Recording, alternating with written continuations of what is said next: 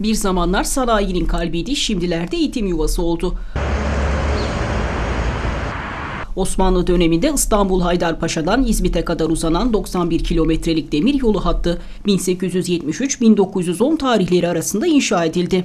İzmit tren istasyonunun açılmasıyla ilk etapta Anadolu'dan gelen ham maddelerin İstanbul'a çok daha kısa sürede ulaşması hedeflenerek deniz yoluyla gelen malların da tren vasıtasıyla en kısa sürede yine İstanbul'a ulaşması sağlandı.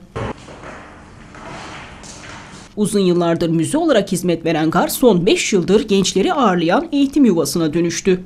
Bina içerisindeki kütüphanede gençler için çalışma imkanı sunulurken, icathane bölümünde gençlere yönelik robotik kodlama, yapay zeka gibi eğitimlerin verildiği bir atölye konumunda bulunuyor.